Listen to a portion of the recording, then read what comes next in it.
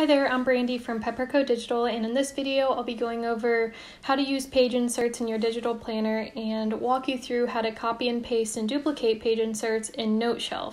So let's go ahead and get started. So first, let's go ahead and go over the basics of what page inserts actually are. So if you're using one of my digital planners, then I include tons of different page inserts that you can use over and over again anywhere you want in your planner. They're there for you to plan as in depth as you need and also to keep track of uh, all different types of info.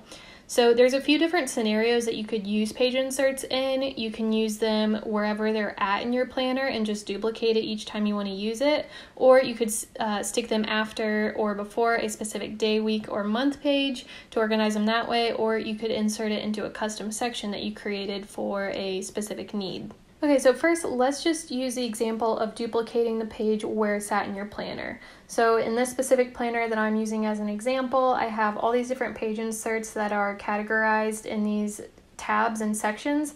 And if we go to one of these tabs, there are hyperlinks to each page insert that is in this section. So in this instance, say that I don't really want to move these page inserts anywhere else. I just want to keep them within this financial section and just duplicate it and use it. So let's just go to this first one. Say I want to use this monthly budget page and I would just want to keep it within this section. So all I would have to do is duplicate it. So come up here to the little pages icon in the top right corner and then tap and hold on the page you want to copy and then tap on duplicate. So now it inserted that duplicate right after that page and you're good to go to start using it. So that is the first example of using page inserts and duplicating them in the section that they're already in. But you may find yourself in a scenario where you want to use a page insert, but you want to have it somewhere else in your planner. So in this case, what you would do is copy the page and then paste it wherever you want it. So let's go ahead and use the example of pasting pages after a specific planning page, like a monthly, weekly, or daily page. So this is nice to do if it is related to that day, week, or month that you want to be able to access it.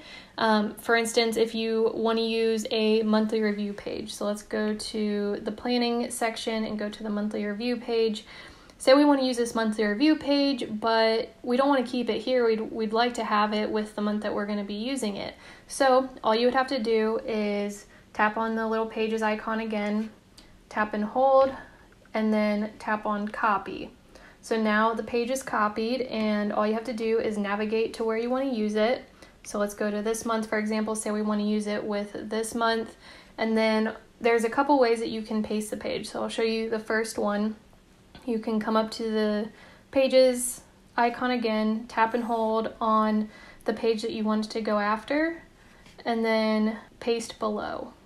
So now it inserts that page after the month and you're good to go to start using it. Or another way you can paste it, you can just come up to the little plus icon up here and then tap on the page from clipboard option and it will paste that page that you just copied behind it. So either or, it's about the same um, amount of time. It's not going to save you time either way, but those are the two options for pasting pages.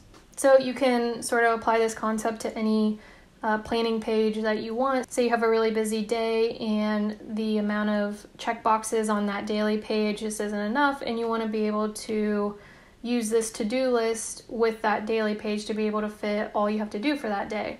So, same thing, you would just copy it and then navigate to the daily page you want to use it with.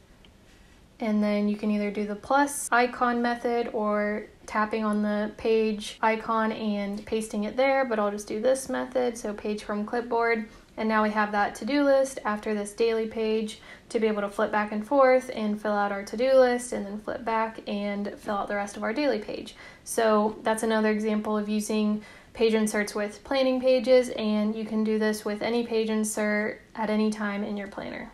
Okay, and the last example I wanted to show you is how you can use page inserts in custom sections. So um, I have in this specific planner that I'm using, I have six different custom sections that I can create for uh, whatever I want. So all I would do is go to that cover page and label what I want this section to be for. So just think of this as an actual tab divider in an actual notebook or binder, and it's a way to just separate out different page inserts for different categories of notes or you know projects or meeting notes or even things like recipes or meal planning.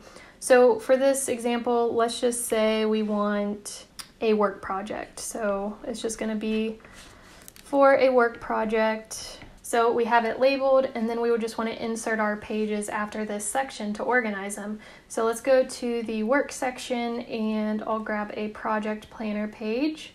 So I would just copy it and then go back to this section and then insert it after that and now it's all organized with this first section that I customized to be for a work project. And then you can also, you know, grab like a note page if you want.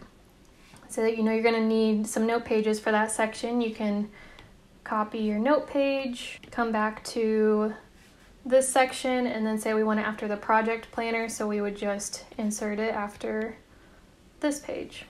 And now we are starting to build out this section of what we want um, to work on and use page inserts for and you can just insert as many pages as you need for that specific section and it's just a really easy and convenient way to organize different pages for any sort of need that you have. Okay, so those are the different scenarios and examples of using your page inserts in Noteshelf and how you would duplicate them or copy and paste them wherever you want them. You can do this over and over again and it's essentially unlimited as long as you have the space available on your iPad. So uh, I hope this helped answer any questions you had about using page inserts and even the different ways you can use them. But if you still have any questions at all, just send me a message or write a comment down below and I would be more than happy to help. Thanks for watching and happy planning!